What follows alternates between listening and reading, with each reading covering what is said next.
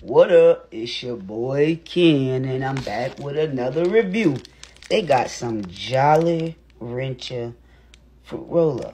We ain't never had no motherfucking Jolly Rancher fruit rollers in the 90s or the 2000s. Even though I was born in the 90s, as a kid coming up in 2000, we ain't had no motherfucking Jolly Rancher fruit roller. Nah, we ain't had one, so we would Man, the whole hood would have smashed them bitches. And yes, this is how I eat my fruit out.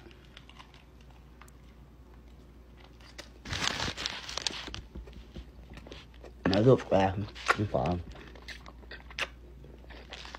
Man, that green apple, I should cut like a green apple. more. I'm like a um, Jolly Rancher for bread. 10 out of 10, huh? 10 out of 10. Boy, if you high, this gonna be one of your favorite snacks. I'm telling you. Mm. Mm. Mm. Mm. Mm. Mm. Mm. Everybody love green apple. Mm. It's like making love.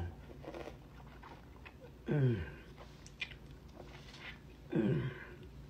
Mm. Man, go get y'all one, because this bitch is smashing.